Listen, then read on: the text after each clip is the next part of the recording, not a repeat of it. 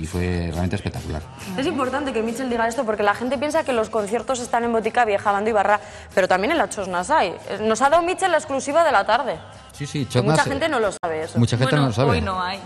Hoy no hay Chosnas, no hay No, pero digo que hay conciertos en la Chosnas. Sí, sí, sí, Hoy no, claro. pero seguramente que el viernes igual haya más. Sí, sí, incluso cuando nos acercamos un poco había otros chavales, Metal Militia, tocando a las eh, siete y media de la tarde. Yo creo que eh, cada chozna va programando y hay- han llegado a venir grupos importantes que no estaban en el cartel y es una forma de acercar al- la música a la gente, de no moverse del recinto festivo y que al final la gente disfrute un poco y dar un poco la oportunidad a esos grupos que tampoco han podido entrar en, en esos circuitos.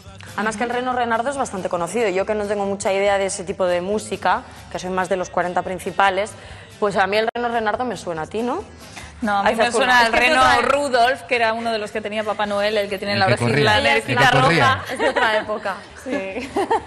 Es un grupo que solo saca discos por internet, que hace eh, canciones, aparte de la calidad, con un punto humorístico importante y que Irónico. y muy irónico sobre todo, y que ha congregado a toda la gente que lo conoce por, por la web. Y hace dos años tocaron en Pimpilipausa. Manda web. Manda webs. Manda webs. Más de uno, porque con uno solo es complicado. Bueno, bueno.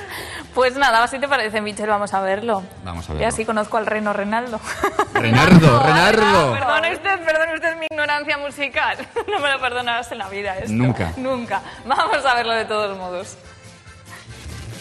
Está claro que más allá de los escenarios habituales en Astenagusia hay mucha música por la calle. Las comparsas no se quedan atrás en esto de programar música. Festivales de otros años como el Rock in Ria o el Monster of Choznas han dado paso a la programación propia de quienes dan oportunidades a muchas bandas. Ayer por la tarde Metal Militia versionaban con un buen nivel a Metallica junto a la iglesia de San Nicolás, pero para buen nivel, buen nivel, el Reno Renardo. El cuarteto que Chotarra reunía en Echeverry a la noche a cerca de 3.000 espectadores en el show más masivo que se ha visto nunca en el Arenal.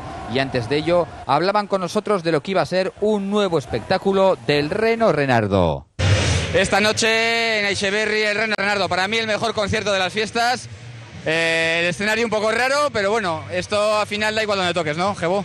Bueno, raro tampoco, es normal, más o menos cuadrado, uniforme, así que bueno, es un poquito chiquitín comparado a los estadios que normalmente tocamos, pero bueno, sí, como bien dices, el mejor concierto de toda la Estenagusia. Hace dos años eh, creo que tocasteis en la Pimpi. Tocamos en la Pimpi Fue raro el concierto. Y había El un... escenario, el escenario un- fue raro. Sí, era un escenario un poquito raro porque estábamos como a una altura, pero fue un, escena- un concierto brutal porque había mogollón de gente, o sea, no esperábamos que podíamos llegar a meter tanta gente. Te comento porque yo cometí el fallo de veros un rato, irme luego a ver a Sarama, medio dormirme y al volver ya no estabais.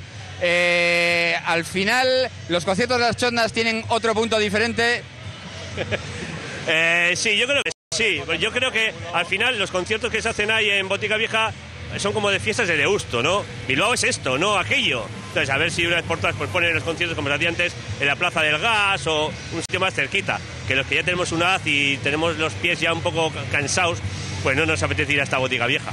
Ayer estuve con Luis, el, el chico que lleva un poco Bilbo Rock, me comentó que al final Bilbo Rock y lo que se monta un poco aquí es lo que está salvando el espíritu de, de la música de Bilbao, ¿no?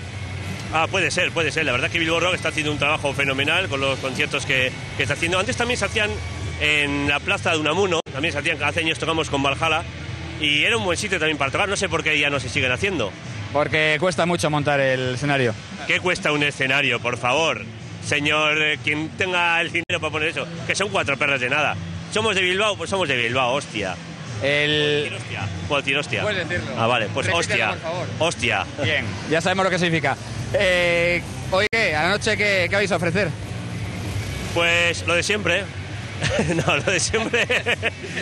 Vas a una canción más y lo que vaya surgiendo. Tampoco, no somos de preparar mucho las cosas, ¿eh? Lo que vaya surgiendo.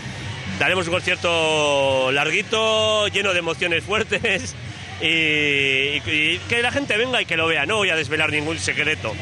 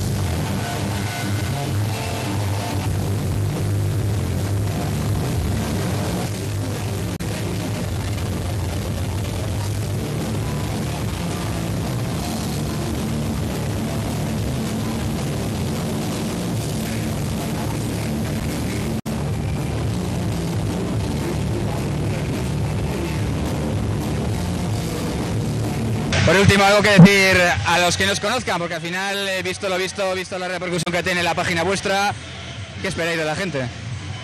Eh, bueno, que no nos conozca... eh, que no tiene perdón, no, más que nada yo creo que si no nos conoces es porque no quiere conocernos, porque algo que lo que hemos cantado alguna vez ha sentado mal, entonces prefieren mantenerse al margen. El resto de gente ya nos conocen, así que van a venir todos, vamos a estar aquí la gran familia del Reno Renardo.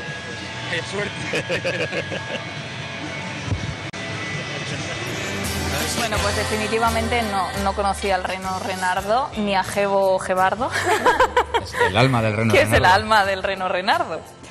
Michelle, esta noche ¿qué nos tienes preparadito? Esta noche iré a Bilbo Rock y, y luego iré pronto a casa porque para mí es el día más grande de las fiestas. O esta noche, ¿no? Sí, porque hoy es el cumpleaños de Ana, mi novia. Ah. Es el cumpleaños y... ¡Qué deleire! Y Bueno,